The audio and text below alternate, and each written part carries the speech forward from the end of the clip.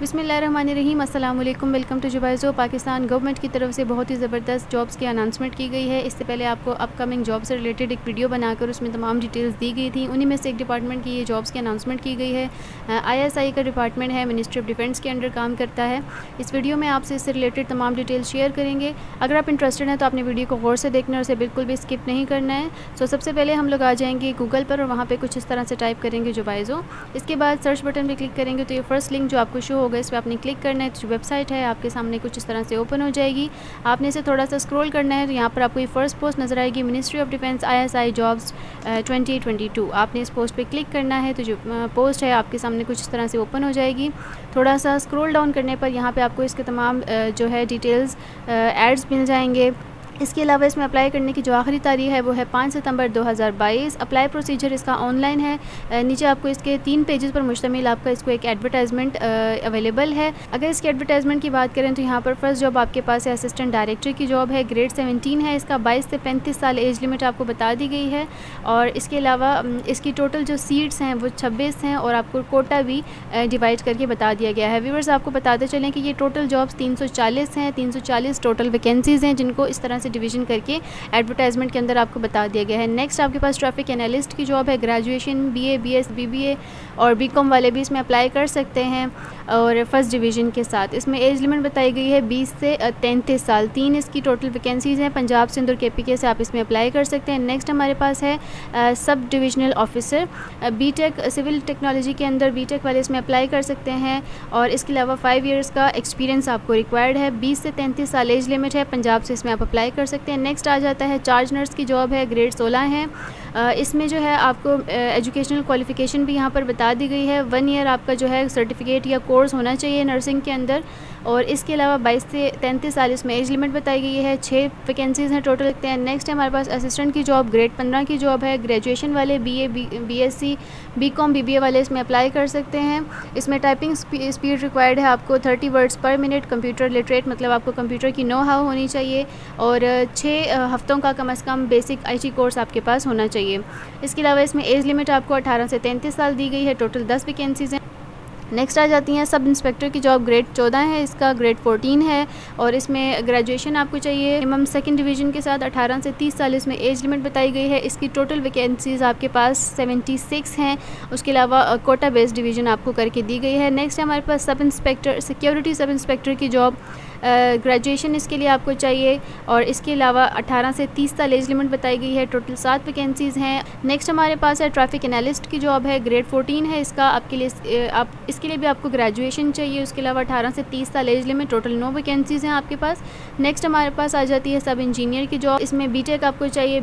इसके अलावा अठारह से तीस साल एज लिमिट है और पंजाब वाले इसमें अप्लाई कर सकते हैं। सब डिविजनल ऑफिसर की जॉब है। इसके अलावा दो दो साल का जो है आपको relevant practical experience experience required है।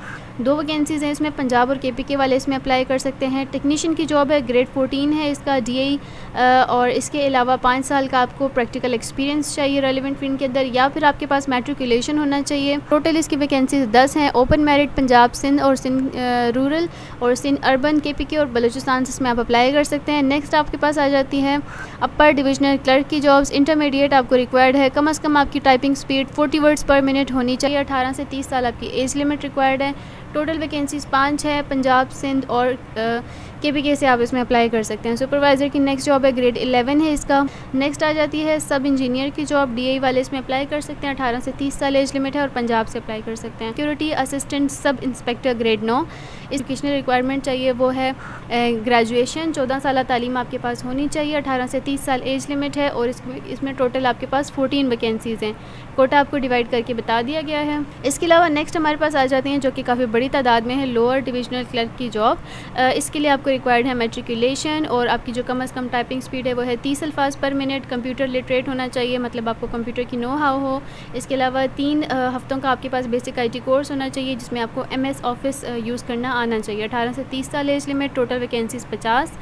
नेक्स्ट आ जाते हैं ऑपरेटर स्पेशल की जॉब इंटरमीडिएट आपको रिक्वायर्ड है और बाकी एजुकेशन रिक्वायरमेंट भी आपको बता दी गई है। 18 से 30 साल एज लिमिट टोटल वैकेंसीज इसमें आपको 32 दी गई हैं। कोटा भी डिवाइड करके बता दी गई है। मेरिट पंजाब सिंध के पी के और बलोचिस्तान और फाटा वाले इसमें अप्लाई कर सकते हैं। नेक्स्ट टेक्निकल मॉनिटरिंग स्टाफ की जॉब ग्रेड नौ है इसका। ग्रेजुएशन यानी B A B com C वाले इसमें अप्लाई कर सकते हैं।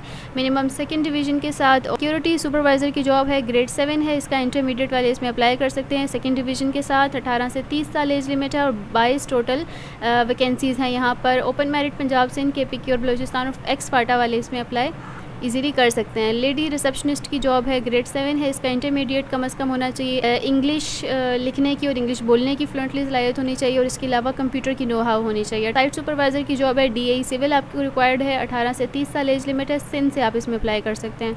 वायरमैन ग्रेड छः की जॉब है। मेट्रिक के साथ इसमें आप अप्लाई कर सकते हैं। पाँच साल का आपके पास प्रैक्टिकल रेलिवेंट एक्सपीरियंस होना चाहिए। स्पेशल स्टाफ की जॉब है ग्रेड फाइव है, इसका इंटरमीडिएट आपको रिक्वायर्ड है अठारह से तीस साल एज लिमिट है। ड्राइवर की जॉब्स हैं प्राइमरी पास होना चाहिए, इसके अलावा वैलिड जो है आपके पास एलटीवी ड्राइविंग लाइसेंस होना चाहिए और आपको जो ट्रैफ़िक के रूल्स और रेगुलेशंस आपको उससे अवेयरनेस होनी चाहिए, आपको मालूम होने चाहिए, अठारह से पैंतीस साल एज लिमिट है टोटल वैकेंसीज आपके पास तेरह हैं। नेक्स्ट आ जाती है नाइब कासिद की जॉब ग्रेड वन है, इसका मेट्रिक आपके पास होना चाहिए और इसके अलावा आपके पास वैलिड ड्राइविंग लाइसेंस होना चाहिए, अठारह से तीस साल एज लिमिट है, चौदह वैकेंसीज है टोटल लस्कर की जॉब है, ग्रेड वन है, प्राइमरी पास होना चाहिए और इसके अलावा अठारह से तीस साल एज लिमिट है, तीन वैकेंसीज हैं आपके पास टोटल। माली की जॉब है ग्रेड वन है, इसका मेट्रिक रिक्वायर्ड है, मिनिमम दो साल का तजुर्बा चाहिए, अठारह से तीस साल एज लिमिट। कुक की जॉब है, मेस वेटर की जॉब है और इसके अलावा सैनिटरी वर्कर की जॉब है। इनकी भी एजुकेशनल रिक्वायरमेंट आपको बता दी गई है, सेम एज लिमिट है, अठारह से तीस साल। नेक्स्ट हम आ जाते हैं कि इसमें जितनी भी इंपॉर्टेंट डिटेल्स हैं, वो भी आपको यहाँ पर मैंशन कर दी गई हैं। आप एडवर्टाइजमेंट से रीड आउट कर सकते हैं। इसके अलावा इसमें अप्लाई करने की आखिरी तारीख आपसे शेयर की गई है पाँच सितंबर 2022 पीर के दिन इसके अलावा इसमें अप्लाई करने की अगर बात करें तो ये थोड़ा सा ट्रिकी है। आपको यहाँ पे इसको समझना पड़ेगा। ग्रेड सत्रह की जो जॉब है उसके लिए आपको एप्लीकेशन फ़ी चौदह सौ बताई गई है और इसके अलावा ग्रेड सात से लेकर ग्रेड सोलह तक आपको जो एप्लीकेशन फ़ी है वो साढ़े आठ सौ बताई गई है और इसके अलावा ग्रेड वन से लेके ग्रेड छः तक, यानी इसके अलावा यहाँ पर एक मेथड बताया गया है अप्लाई किस तरह से करना है। फर्दर आपके साथ एक डिटेल वीडियो बनाकर भी शेयर करेंगे। यहाँ पर आपको ग्रुप्स दिए गए हैं जॉब्स के। सीरियल नंबर आपको फॉर एग्ज़ाम्पल यहाँ पे दिया गया है सीरियल नंबर टू एट और नाइनटीन दूसरा ग्रुप है सीरियल नंबर सिक्स सेवन और सिक्सटीन और तीसरा ग्रुप है serial number eleven thirteen fourteen और चौथा ग्रुप है serial number twelve seventeen eighteen और ट्वेंटी वन इसका मतलब ये है कि इसके अंदर अगर आप, ये जो ग्रुपिंग की गई है सीरियल नंबर के अकॉर्डिंग तो ये जो सीरियल नंबर दिए गए हैं, ये जॉब्स के दिए गए हैं। इस एक ग्रुप में से आपको इसी दो जॉब्स के लिए जो है, वो एक सिंगल फ़ी पे आप अप्लाई कर सकते हैं। फॉर एग्ज़ाम्पल आपने सीरियल नंबर बारह के ऊपर जो जॉब है, हम देख लेते हैं सीरियल नंबर बारह पे कौन सी जॉब है।